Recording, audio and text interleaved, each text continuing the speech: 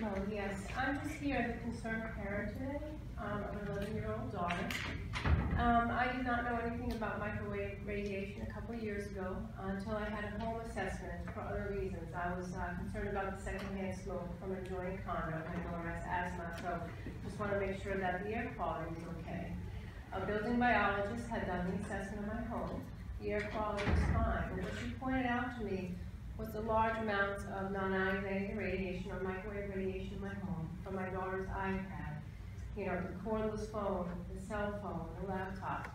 Um, that really, um, encouraged me to do some more research, and then, of course, I discovered, like was mentioned earlier, that there's thousands of studies on how bad this stuff is. And, you know, many, many health effects that was mentioned earlier.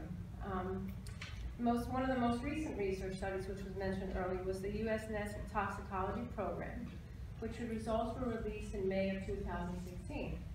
Um, and this found that exposure to wireless radiation significantly increased the prevalence of rare malignant brain and heart tumors in rodents.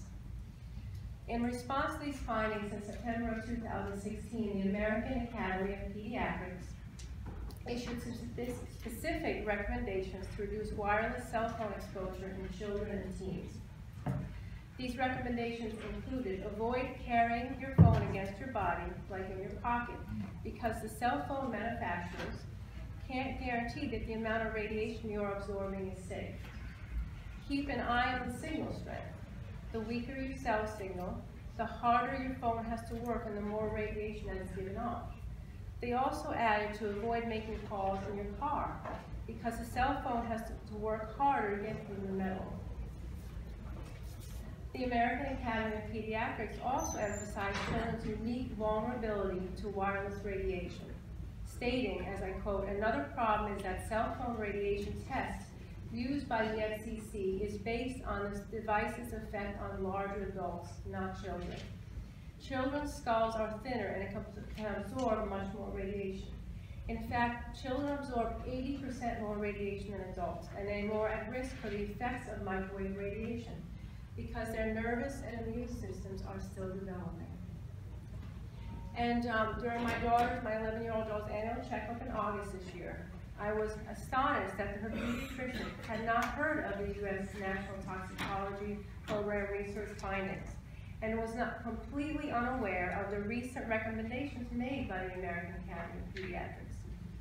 The pediatrician was also unaware that high levels of radiation are emitted by industrial routers in almost all of our school systems in Massachusetts and throughout the country. And this amount of radiation is comparable to standing underneath a cell tower. I also had a similar experience um, with my primary care physician during my annual checkup. I asked my doctor's opinion on what she thought about the safety of wireless radiation. She said, I haven't read that many studies, I quote. I've heard about any studies that say it's really bad. I think it's fine. I'm quoting her.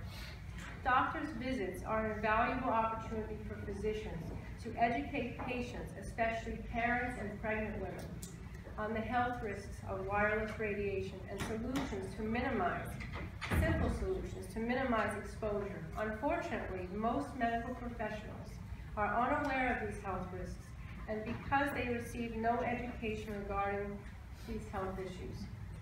Massachusetts has an incredible opportunity in educating, have a chance to educate medical professionals on the health risks of wireless radiations so they are able to better help their patients. I thank you very much, and please support Bill S2080. Thank you very much for your time. Great, thanks, Ms. Melanson. Question from the committee? Uh, that's all we have here. Uh,